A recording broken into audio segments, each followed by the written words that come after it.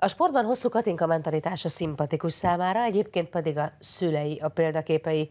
Illés Fanni paralimpikon az úszásnak köszönheti, hogy a sikerek mellett megtanulta feldolgozni a kudarcokat is. Ismerjék meg most őt.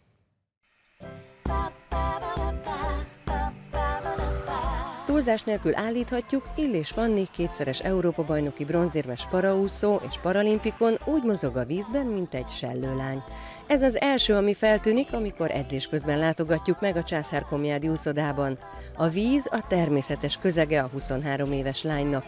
A lábak nélkül és összenőtt ujjakkal született Fanni már akkor is rögtön ezt érezte, amikor tíz évvel ezelőtt először ment a medencébe. Sokkal gyorsabb vagyok a vízben, és sokkal könnyedebben mozgok, mint itt a szárazföldön. Pedig az első nyilvános medencébe menetel nem volt olyan könnyű számára. Én nagyon szégyellős gyerek voltam, és hát szégyeltem ugye a lábaimat, aztán ugye megszoktam a közeget, nagyon jó érzés volt, nagyon béna voltam szerintem, de hát három hét alatt megtanultam úszni, úgyhogy heti kettőször jártunk a tesommal erre az úszás oktatásra, és hát egy idő után levetköztem ezt. Fanniék gyakran versenyeztek édesapjával a medencében, és amikor a kislány először lehagyta a karral és lábakkal jól úszó erős apukáját, akkor kezdte a neten keresgélni a család a világranglistás paraúszók versenyeredményeit, és kiderült, hogy nem sokkal marad el azoktól Fanni. Úgyhogy felkutatták a paraúszókkal foglalkozó kiváló szakembert, Málnai Istvánt. Mi csak úgy hívtok, hogy Pike, és uh, Pikének köszönhetem azt, hogy miután találkoztunk, uh, benevezett az első versenyemre, és akkor 100 méter mellúszásban nyertem, és onnantól kezdve bent ragadtam ebben a közegben. Majd innentől sok-sok verseny, számtalan éremszerzés, 2006-tól pedig a válogatottság következett.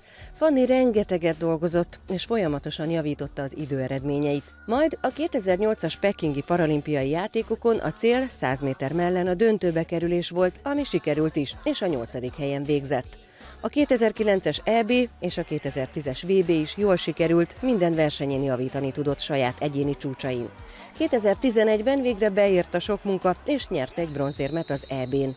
Majd jött London, ahol már sérült vállal versenyzett, és az elért nyolcadik helyével egyáltalán nem volt elégedett. Gondolkodtam, hogy miért történt ez, tehát millió kérdés volt bennem, és mindegyik úgy kezdődött, hogy miért. Mi értelme volt ennek a négy évnek. Fanni kiábrándult mindenből, az úszásból, a versenyekből, az életből is, és ekkor jött a súlyos válműtétje, ami után sokáig a törzséhez volt kötözve műtött karja, de ő akaraterejével a teljes kilátástalanságból is kitalált. Utána az lett a fontos, hogy, hogy összeszedjem magamat. Tehát a, a testem is darabokban volt, a lelkem is darabokban volt, úgyhogy így próbáltam felépíteni, és a gyógyulásom volt a legfontosabb. A műtét utáni rehabilitációs úszás során pedig a versenyszerű úszáshoz is rögtön visszatalált. Soha nem felejtem el ezt a pillanatot, mikor beleugrottam újra a vízbe, és, és olyan szörnyen fájt a vállam, hogy ezt nem tudom elmondani. És ott eldöntöttem, hogy hogyha nem is ha nem is azért, hogy jó eredményeket érjek el, vagy, vagy bizonyítsak másoknak, azért csináljam az úszást, hogy, hogy, hogy az nekem legyen jó. És az írtózatosan küzdelmes másfél év után 2014-ben sikerült egy újabb EB bronzérmet szereznie, és minden a helyére került. Jelenleg Fanni az idei világbajnokságra készül heti 15 edzéssel, és emellett hétköznapjaiban a médián keresztül gigantikus harcot vív saját és sorstársai jogaiért. És ennek nehézségeiről már egy kávé mellett mesél nekünk. Én tudom, hogy lassan megy ez a folyamat, és hogy hallottam már olyat is, hogy, hogy akik azt mondták, hogy nem, nem utogassanak minket a tévébe, se versenyen, se hogyan sem, mert a magyarok depressziósak lesznek tőlünk. Én erre csak annyit tudok mondani, hogy nincs annál motiválóbb, mint amikor vala, látom azt, hogy valaki megcsinálja azt, amire én azt hiszem, hogy nem tudom megcsinálni, hogy képtelen vagyok rá. Az érdekképviselet és az integráció elősegítése miatt vett részt 2014-ben egy kerekesszékes szépségversenyen, amelyet meg is nyert. Továbbá folyamatosan harcol, hogy csökkentse a szakadékot az épp emberek és a fogyatékkal élők között, hogy azok egyre jobban megértsék egymást, és Fanni személyes üzenete, hogy mindkét oldalnak tennie kell ezért.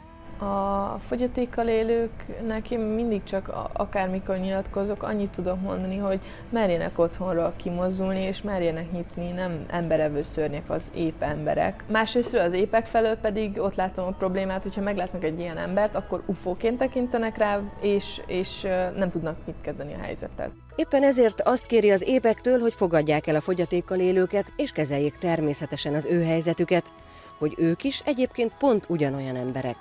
Fanni pedig kiskorától hiszi, Isten azért formálta őt ilyenné, hogy segíteni tudjon az épek és a fogyatékkal élők világát közelebb hozni egymáshoz, és tudja, hogy az úszásával is ezt szolgálja.